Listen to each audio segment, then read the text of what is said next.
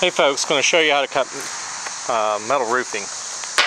Uh, back in the day, about 20 years ago, I was a metal roofer, mainly because nobody in my area knew how to do metal roofing. So anyway, I started doing metal roofing and I've got every tool imaginable. I've got a power shear, I've got um, a number of aviator shears, I've got cut-off blades.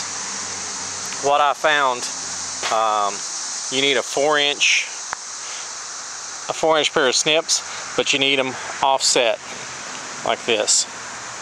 Uh, this is a Wiss model M400.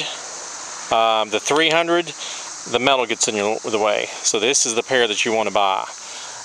A word of warning though, when you get it dull, um, you can't really sharpen these. I tried, and by grinding off the, the each this edge and that edge, so you see those little little serrations right there that's what grips the metal. And you see I'm I did some a little bit of work to make these usable again but I don't dare sharpen these. If you do sharpen them you can hone them um, on the flat side but like I said they're they're kind of hard to, sh to sharpen but luckily they last a long time and keep it a good edge. Um, you want to make sure you wear gloves because metal sharp and it tends to get little splinters in you um, or you can get a good cut. Um, the other thing I would note is, um, you know, these snips right here will work fine in the flat areas, but what you got to get access to is around the rib. So I'm going to try to show that and demonstrate that for you here real quick. Um, the reason I use this instead of a cutoff blade, which I've done that, the, this actually pinches the metal which is galvanized underneath this paint and it kind of seals it. I've not had any rusting issues on the edge when I've used these. But when I use the cutoff or anything um, that's not a shear, I, I, tend to see more rust action, as well as it's much harder to control that cut with on such a thin piece of metal with like a cutoff saw. But you can use a cutoff um, as long as you don't mind a little rust. Um, for straight cuts, um, you can use a power shear. You can score it with the blade, which is hard. Scoring it with the blade, you have to bend and score. It, it takes about three times. It's really difficult to do. Um, or you can cut it with these, and you get a, an adequate cut. But anyway, let me show you how this is done.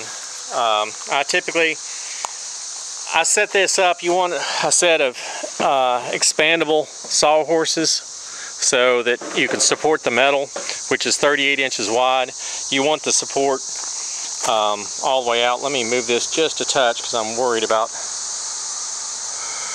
this getting in the way. So, anyway, I wear gloves left and right hand. You start going around and I'm kind of lifting with my left hand and the metal's going to go down on my right hand side. When I come to to rib, I kind of go around, follow, and then I get back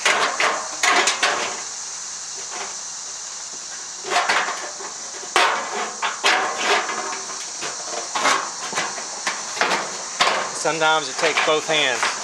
And it takes a lot of hand strength to cut this stuff, so around those ribs is kind of tough.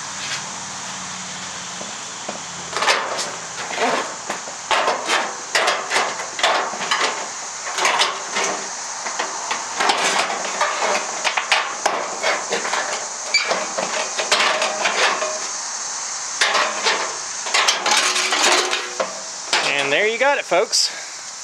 Um, anyway, short video. Um, I hope this guy helps uh, any of you guys out there trying to do this metal work yourself. Uh, it's not rocket science and I think this tool's less than 15 bucks. So you don't need special equipment and as a matter of fact, as long as you, you don't mind doing a little bit of hand workout, um, you'll do fine. Anyway, I uh, hope you liked the video, like and subscribe.